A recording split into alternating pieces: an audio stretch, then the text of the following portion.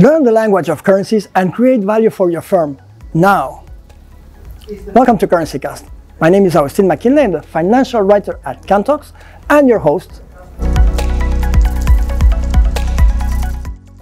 In this week's episode, we're going to explain why failure to embrace currencies, namely failure to adopt more currencies in your business operations, is likely going to lead to subpar economic performance and lower growth ahead.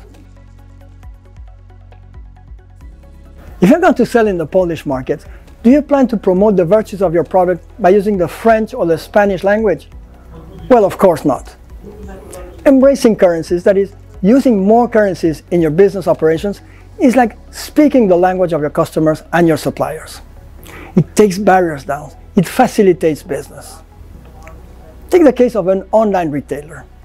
Multi-currency offerings would allow it to create a seamless buying experience that creates trust and reduces cart abandonment, while at the same time bypassing intermediaries and driving higher margin sales to its website. The case for embracing currencies is even more compelling in B2B setups. On the contracting side, Buying in the currency of your suppliers allows you to avoid inflated prices due to foreign exchange markups charged by your suppliers. And it allows you to widen the range of potential suppliers, thus accessing better deals.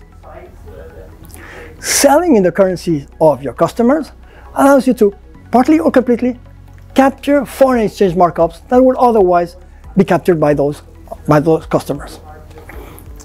If you have strong FX risk management tools in place, you would be also in a position to take advantage of favorable moves in currency markets and price more competitively without hurting your profit margins. Or you could use a forward rate in the situation of favorable forward points to price more competitively. So what's holding you back from taking advantage of the benefits of embracing currencies, that is, using more currencies in your business operations?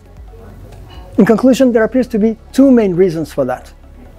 On the one hand, there is the perception, perhaps outdated, that foreign exchange risk management is a resource intensive activity with lots of manual tasks being executed by members of the finance team and with lots of hidden costs in terms of banking fees. On the other hand, there is a lack of understanding of some of the techniques of foreign exchange risk management, in particular, and among others, pricing with an FX rate or calculating the right amount of exposure to currency risk. Currency management automation solutions, working alongside your existing systems, allow you to fully take advantage of all the benefits of embracing currencies, thanks to a family of automated hedging programs. Finally, if you're worried about the FX health of your business, take our free assessment through the link below and get a personalized report in minutes.